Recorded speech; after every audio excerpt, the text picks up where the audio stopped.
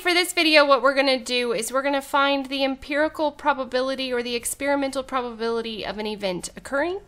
Um, for this one, we have some stats. In a given week, a, a vet treated the following animals. Um, a dog, 50 were treated, 35 cats, 8 birds, and 2 reptiles.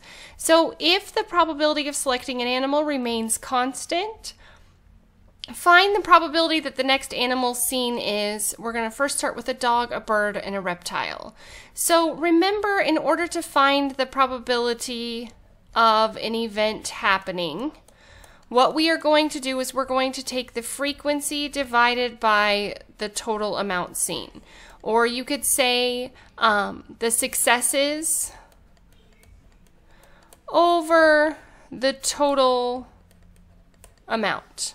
Okay, so the first thing that we want to do is find the sum of this column. So I would take 50 plus 35, which gives me 85.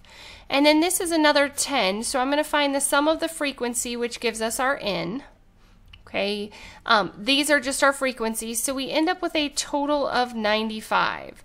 So the first thing that we want to find is we want to find the probability that we have a dog as the next patient. So you can either name this with a capital letter, sometimes they do that, and you can put a capital letter in there, um, but I'm just going to say the probability of a dog being seen. So what we would do, a success would be there was 50 dogs seen during the week out of 95 total.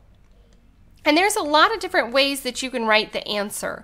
One way is you can leave it as 50 over 95.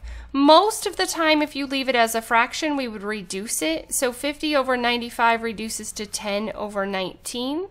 So this is an acceptable answer. Or sometimes they will say to round it to three decimal places or something like that. So we could put it as 0.526. Or you could also express this as a percent. So it's really just a matter of preference of what you prefer. Um, all three of these are acceptable answers for finding the probability. So let's look at the next one. For the next one, we're looking for the probability that a bird was selected. So with this, we would take 8 out of 95, and I can't actually reduce that, so I would just leave it as 8 over 95. Or if you wanted to write this as a decimal approximation, you would just do 8 divided by 95 and you get 0.084 or 8.4%. So the probability that the next animal being treated is a bird is 8.4%. Okay, and then the last one, the probability that we are selecting a reptile Okay, so for this one, a reptile was the least amount seen, so we would have 2 out of 95. Again, this can't be reduced. So if you leave your answer as a fraction, you would leave it like this, or you can convert it to a decimal by dividing 2 divided by 95 would give us 0.021, or 2.1%.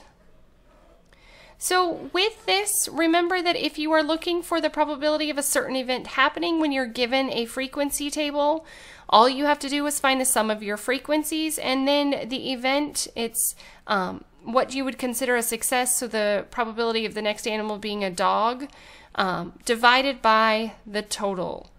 As always, thanks for watching. If you have additional topics you need me to cover, please let me know. And if you get a chance, please subscribe.